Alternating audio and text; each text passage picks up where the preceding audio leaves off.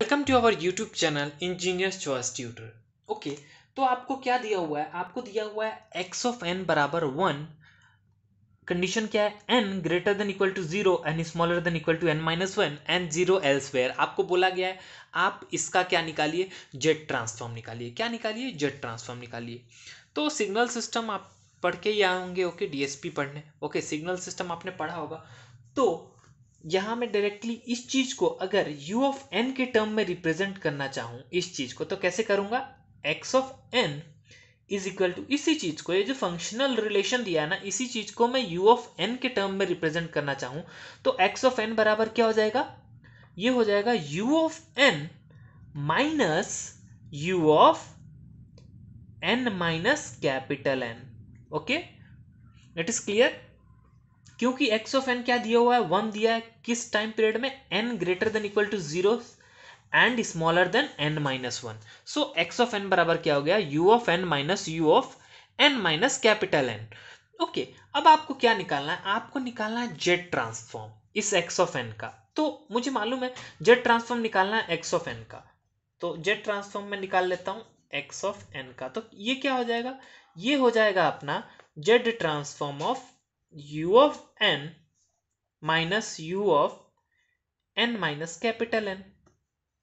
Okay linearity property लगाऊँगा मैं. By linearity property by linearity property okay कौन सी प्रॉपर्टी लगा रहा हूँ मैं यहाँ पे? लीनियरिटी प्रॉपर्टी लगा रहा हूँ. तो देखिएगा. लीनियरिटी प्रॉपर्टी लगाऊँगा तो z transform of u of n minus u of n minus capital n इसको मैं क्या लिख सकता हूँ? Z transform of u of n minus z transform of u of n minus capital n ये लिख सकता हूँ, है ना? और यही क्या हो जाएगा अपना? Z transform of x of n हो जाएगा। तो प्रोसेस बाय प्रोसेस चलेंगे। सबसे पहले ये पार्ट निकाल लीजिए, उसके बाद ये पार्ट निकाल लीजिए। ओके तो सबसे पहले मैं निकाल लेता हूँ क्या?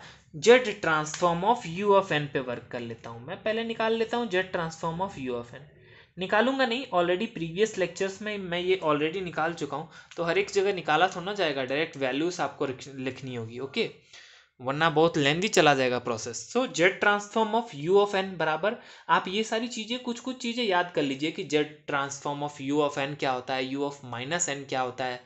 Okay? So z transform of u of n क्या होता है? Z upon z minus one okay? अब सेकेंडली आपको क्या निकालना है? Z transform of u of n minus capital n okay? ये चीज़ निकालनी है तो ये चीज़ कैसे निकलेगी बताइए। सिंपल देखिए। U ऑफ़ n में ही तो यहाँ पे डिले किया गया है ना, n यूनिट से। तो यहाँ कौन सी प्रॉपर्टी काम करेगी? बताइए, यहाँ कौन सी प्रॉपर्टी काम करेगी? टाइम शिफ्टिंग प्रॉपर्टी ओके कौन सी property time shifting property so using using what? Using time shifting property, using time shifting property, okay? Time shifting property लगाइएगा। ओके यहाँ पे यहाँ पे टाइम शिफ्टिंग प्रॉपर्टी लगाइएगा। तो z transform of u of n minus n क्या हो जाएगा? टाइम शिफ्टिंग प्रॉपर्टी मालूम है ना? तो u of n minus n क्या हो जाएगा? Z to the power minus of n क्योंकि क्योंकि यहाँ पे क्या है? एन है। Okay okay? जनरल क्या होता है? अगर x ऑफ़ n का z transform x of z है तो x of n minus m का z ट्रांसफॉर्म क्या हो जाता है?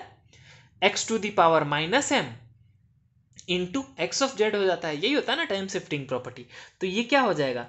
u of n minus capital n equal to क्या हो जाएगा? z to the power minus n into z transform of u of n है ना? समझ में आया?